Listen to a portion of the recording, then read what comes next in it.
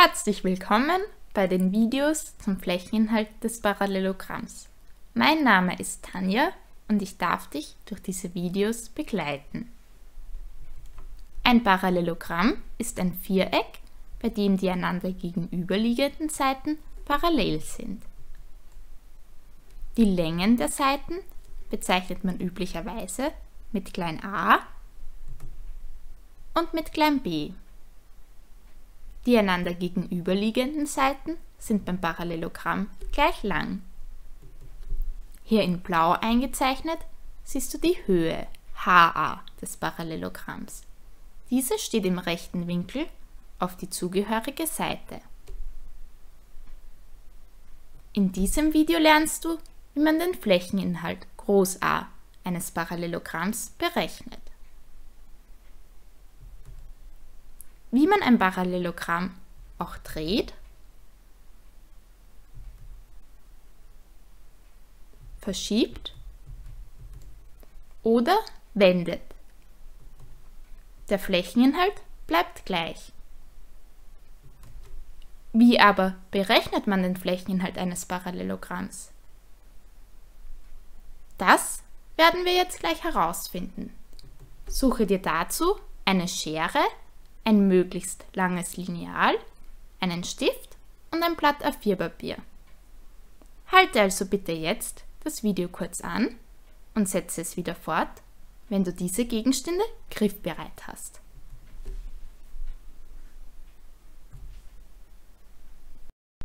Hast du alles gefunden? Super, dann legen wir gleich los. Wir werden aus diesem weißen Blatt Papier hier ein Parallelogramm ausschneiden. Dazu messe ich von der oberen Ecke hier eine gewisse Länge ab. Ich habe mich für 7 cm entschieden und markiere die Stelle. Genau die gleiche Länge messe ich auch hier unten ab. Also wieder 7 cm. Nun verbinde ich diese beiden Punkte mit dem jeweils gegenüberliegenden Eckpunkt. Einmal. Und noch einmal.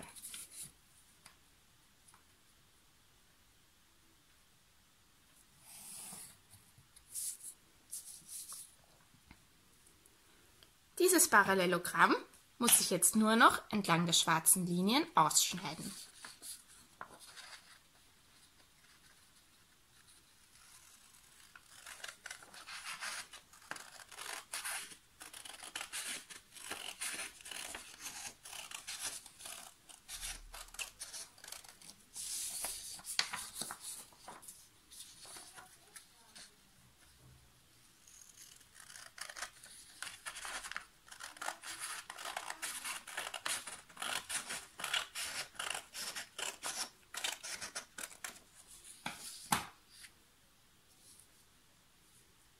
Perfekt. Die Seitenlängen des Parallelogramms beschrifte ich mit klein a und mit klein b. Jetzt fehlt uns nur noch die Höhe. Die Höhe steht im rechten Winkel auf die Seite. Ich möchte sie hier beim Fußpunkt dieses Eckpunkts einzeichnen. Daher nehme ich wieder mein Lineal zur Hilfe. Ich messe 7 cm ab.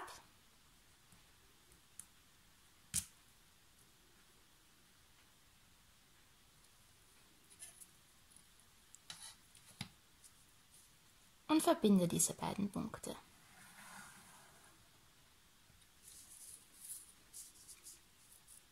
Hier haben wir einen rechten Winkel. Die Höhe beschrifte ich mit H, A, weil es die Höhe auf die Seite A ist. Jetzt haben wir alle Größen, die wir brauchen, eingezeichnet und beschriftet. Wie aber berechnet man den Flächeninhalt des weißen Parallelogramms? Also wie kann ich herausfinden, wie groß diese weiße Fläche hier ist? Ich gebe dir einen Tipp. Schneide einmal entlang der Höhe durch.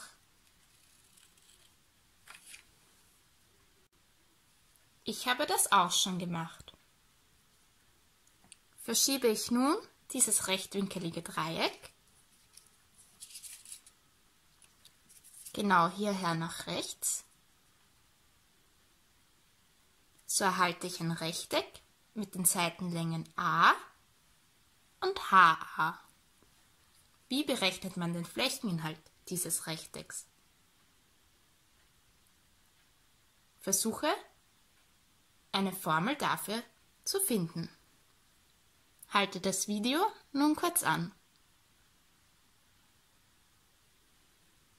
Den Flächeninhalt eines Rechtecks erhält man, wenn man die Länge des Rechtecks mit der Breite des Rechtecks multipliziert. Hier also lautet die Formel für den Flächeninhalt des Rechtecks Groß A ist gleich A mal HA. Der Flächeninhalt dieses Rechtecks ist genauso groß wie der Flächeninhalt dieses Parallelogramms hier. Wir haben ja nur das Dreieck nach rechts verschoben. An der weißen Fläche hat sich nichts geändert. Für den Flächeninhalt des Parallelogramms gilt also die Formel a mal ha. Diese Formel für den Flächeninhalt gilt für jedes Parallelogramm. Du solltest sie dir also gut merken. Danke fürs Mitmachen und bis zum nächsten Video.